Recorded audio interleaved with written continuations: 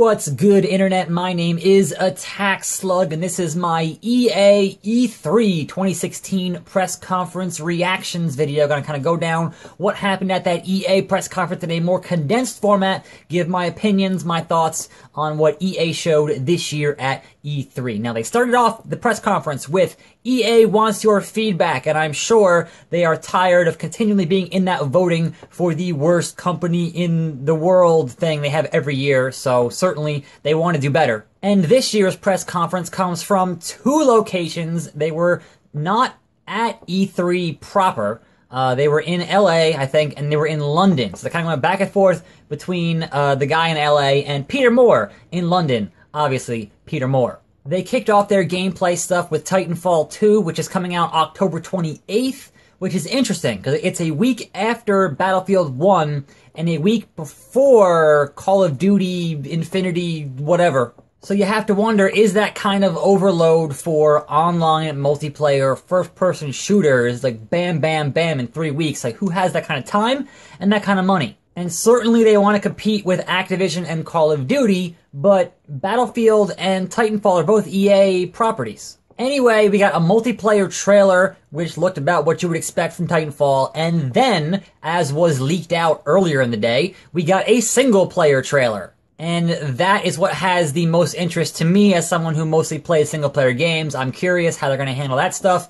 It looked really cool. My biggest concern is that in giving your Titan a personality in the campaign, they're just going to kill him off at the end.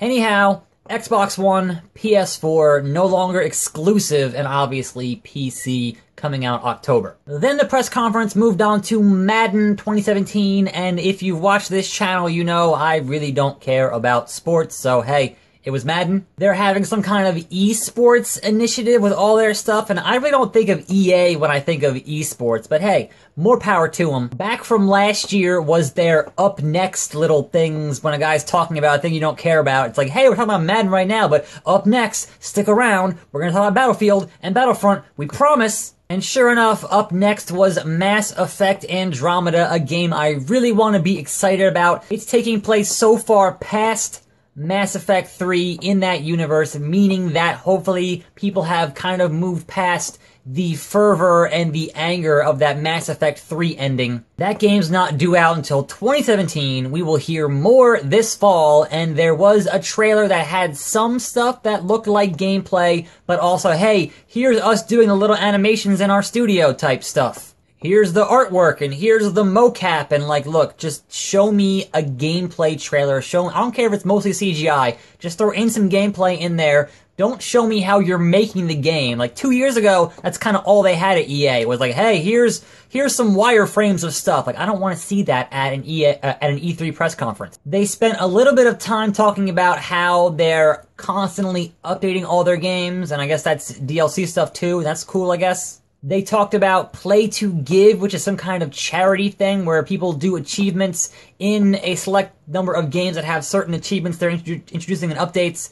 And there, when that happens, they'll donate a million dollars to charity, and that's that's cool. And then we go back to sports with FIFA, which is the other football, the real football. FIFA is now running on the Frostbite engine. FIFA now has a story mode and out comes a football man, and I don't know who this is, and they kind of did a big thing back and forth about how his kid buys a lot of uh, the ultimate team card things and all that other nonsense. I really don't care. He seemed like he really didn't want to be there, but they probably paid him a bunch of money to show up. Anyhow, EA has a new initiative and a new segment in the company they are calling EA Originals. Those of you with a long-term memory uh, should remember that at one point EA had a publishing program called EA Partners. This kind of seems not as large scale as that. It seems like they looked at what Devolver Digital was doing with indie games and said, hey, we could do that. There was money there. So certainly earlier in the year we had Unravel, and then now we have a game called Fe.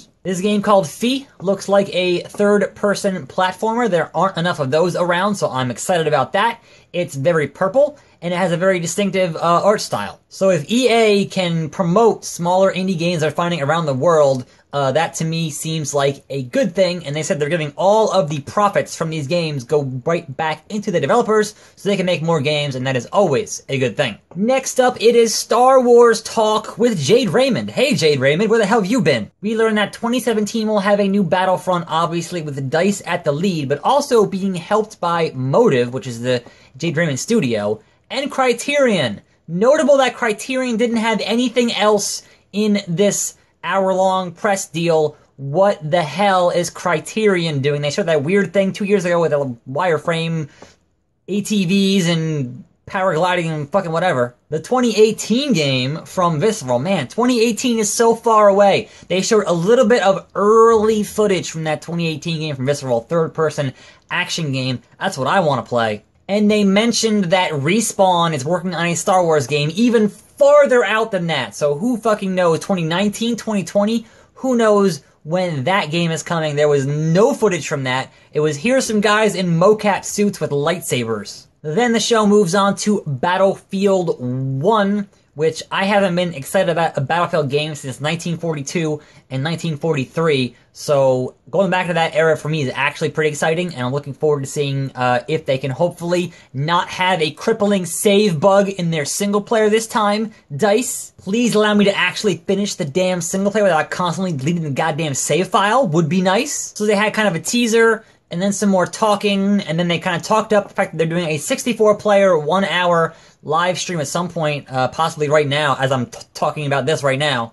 With those two 32 player teams, we're going to have Jamie Foxx and Zac Efron, who were there, and they didn't look like they actually wanted to be there, much like the soccer guy. But that game is out October 21st. They will have an open beta later this summer. Looking forward to that, I guess, Battlefield Insider stuff. And that pretty much wraps up the one hour EA press conference. Later tonight will be Bethesda, and I'm very curious to see what they show. But until then, and until next time, and as always, I am your host, Attack. Thanks for watching. More videos every day. If you're not subscribed, if you're finding out this channel for the first time, hit that subscribe button. That'd be cool. I put out gaming videos. It's fun.